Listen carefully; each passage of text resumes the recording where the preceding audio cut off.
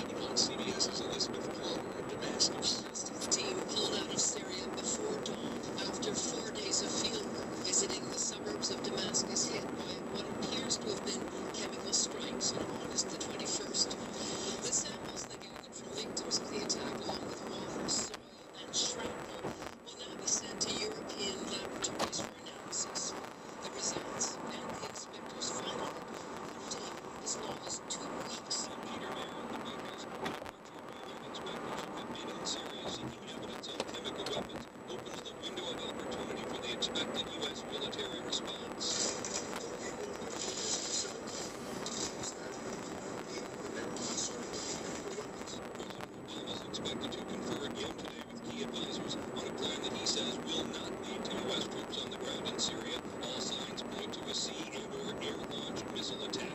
Peter Maer, CBS News, The White House.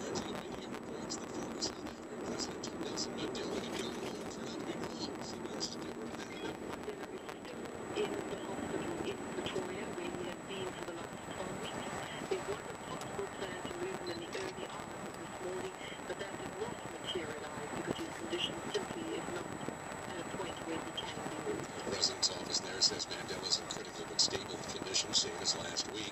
Pope Francis has a new deputy here, CBS's Sabina Castelfranco. The Vatican's new Secretary of State will be a 58-year-old Italian Archbishop Pietro Parolin.